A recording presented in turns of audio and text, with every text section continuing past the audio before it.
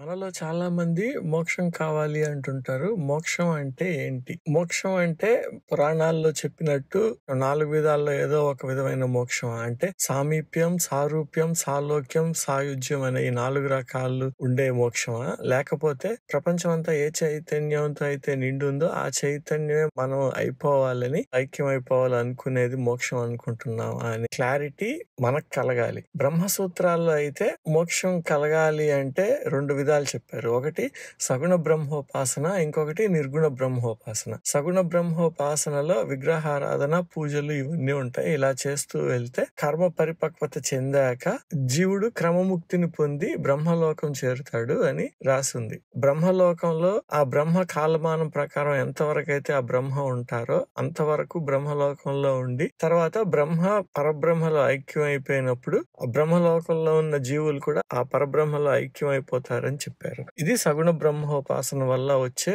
క్రమముక్తి లేకపోతే క్రమమోక్షం అంటారు. అలాగే నిర్గుణ బ్రహ్మోపాసన వల్ల వచ్చే మోక్షం ఎలాంటిది అంటే ప్రపంచం అంతా ఏ చైతన్యం అయితే నిండుందో ఆ చైతన్యమే మనం అయిపోతాం. మళ్ళీ తిరిగి రానవసరం లేకుండా ముక్తిని పొందుతాం. ఈ రెండు విధాలు ఎలా చేయాలి అనేది మన వేదాలు, ఉపనిషత్తులు రెండిటికి చెప్పాయి. వీటిల్లో ఏది గొప్పది అంటే ఎవరికి ఏది కావాలో, ఏది అవ్వాలనుకుంటున్నారో వాళ్ళ నమ్మకాన్ని బట్టి వాళ్ళు అది ఆచరించాలి.